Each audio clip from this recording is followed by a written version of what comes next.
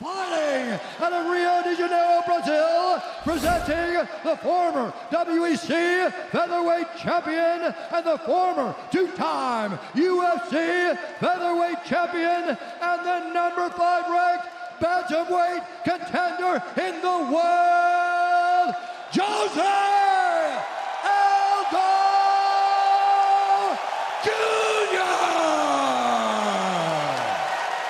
Estamos se sentindo muito bem, muito obrigado. É...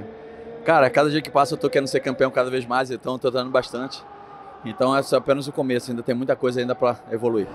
É... Não, né? Eu não senti que estava acontecendo, bem a verdade, cara, mas eu tô treinando bastante, né? Como eu falei, né? É, cara, eu tô me dedicando muito, já tem um ano que eu tô treinando na seleção.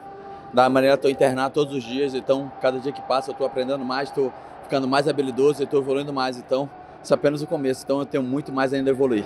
Sim, o Pedro já é muito duro, né? Eu já esperava ele ser um, um adversário bem difícil de, de, lutar, a gente ia ficar em pé, é, pelo estilo de luta, tanto meu quanto dele, né? Então a, era isso que eu esperava mesmo, uma batalha, três rounds, é, com bastante é, golpes.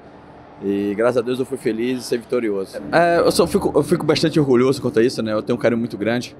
É, onde que eu vou lutar aqui nos Estados Unidos, eu tenho a maioria da torcida, né? Quando não é alguém local. Então eu fico bem feliz. Já é a segunda vez que eu estou lutando aqui em Houston.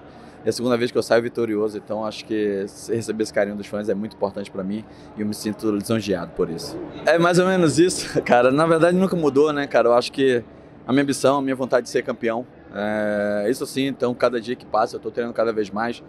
É, estou me dedicando, procurei coisas novas na derrota. Então isso me ajuda a estar tá mostrando esse trabalho que eu, que eu mostrei hoje.